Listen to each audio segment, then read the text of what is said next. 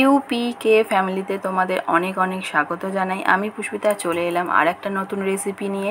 দেখো, আজ বানাবো আমুদি মাছের ঝাল। তো প্রথমেই লাগবে আমুদি মাছ। দেখো, আমুদি মাছগুলোকে ভালো করে কেটে ধুয়ে পরিষ্কার করে নিয়েছি।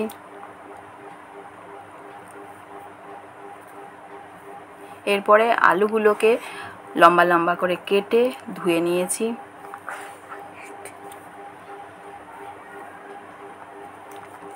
আর লাগবে দুটো পেঁয়াজ কুচি আর তিনটে কাঁচা লঙ্কা।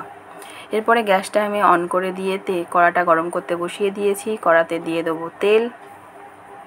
দেখো তেলও দিয়ে দিয়েছি, তেলটা গরম হয়ে গেলে এরপরে মাছগুলোকে আমি ভেজে নেব। মাছ ভাজার জন্য মাছগুলোকে নুন, হলুদ মাখিয়ে নিয়েছি।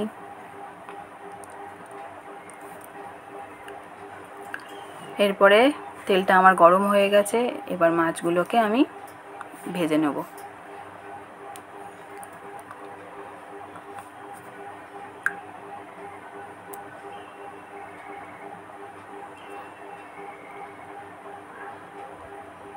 দেখো, আমার মাছগুলো ভাজা হয়ে গেছে, আমি তুলে নিয়েছি। এরপরে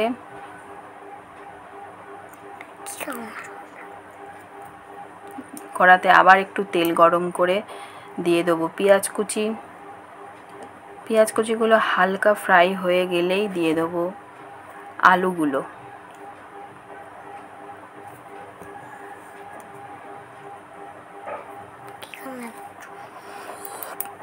দেখো, দিয়ে দিলাম আলুগুলো। এবার আলুগুলো আর পেঁয়াজ একসাথে ভেজে নিতে হবে।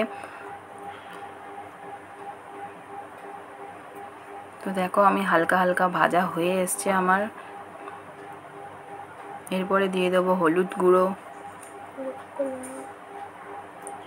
স্বাদ মতো লঙ্কা গুঁড়ো, স্বাদ মতো নুন আর কাঁচা লঙ্কা ভেঙে রেখেছিলাম সেইগুলো। এবার অল্প জল দিয়ে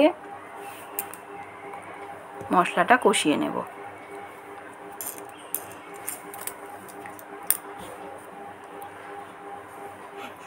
দেখো মশলাটা আমার কষানো হয়ে গেছে আলুর সাথে।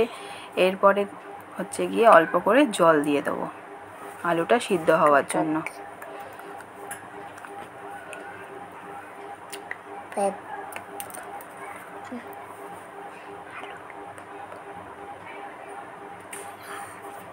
এরপরে আলুটা যাতে ভালোভাবে সেদ্ধ হয়ে যায়, তার জন্য গ্যাসের ফ্লেমটা মিডিয়াম করে দিতে হবে। তো দেখো, আলুটা আমার মোটামুটি ঝোলটা ফুটে উঠেছে। আলুটাও আমার মোটামুটি সেদ্ধ হয়ে গেছে। দেখো আলুটা কেটে যাচ্ছে।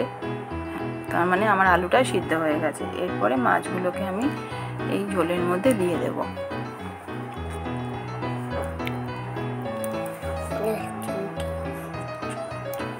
দেখো মাছগুলোকে দিয়ে দিলাম। দিয়ে এবার নেড়ে চেড়ে একটুখানি ফুটিয়ে নাবিয়ে নিলেই হয়ে যাবে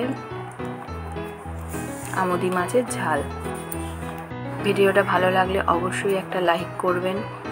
বন্ধুদের সাথে শেয়ার করবেন আর কেমন লাগল সেটা অবশ্যই কমেন্ট করে জানাবেন। ভিডিওটা আমি এখানেই শেষ করলাম। নমস্কার।